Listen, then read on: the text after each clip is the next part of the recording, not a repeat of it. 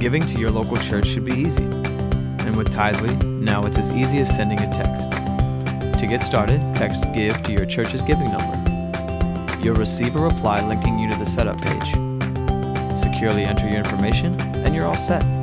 Now you're ready to give anywhere at any time. Just enter the amount, and you'll receive a confirmation text and an email with your receipt. If you've made a mistake, no problem. Just text refund in the reply. Text giving with Tithely, the simplest way to give to your local church.